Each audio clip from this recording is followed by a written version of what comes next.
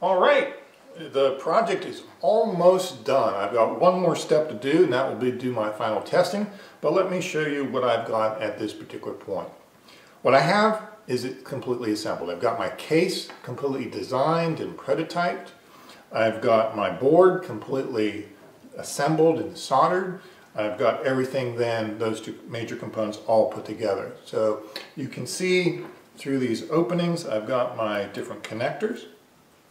On this side, I have my motor power switch and an indicator LED. On this end, I have my USB connector for programming, my optional motor power connector, and my main board power, which can also be used to power the motors if I choose to do so.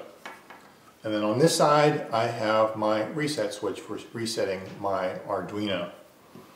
You'll also notice that the connector openings have these little grooves or ridges in them.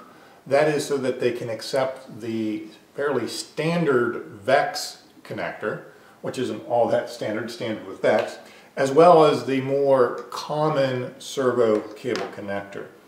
And what I mean by that is the VEX connector has a polarizing fin or tab on the side, and I'm not sure how well you're going to be able to see that, but uh, on this side here, there's a little fin or tab to make sure that those go in the correct way. So mine will accept those. I can go ahead and take and plug that in and it'll accept then that standard VEX, I want to say standard, but it'll accept that VEX cable connector as well as the standard ones.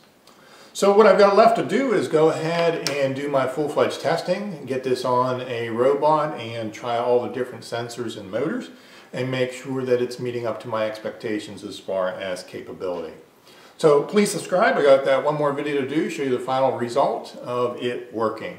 So thank you very much and see you again.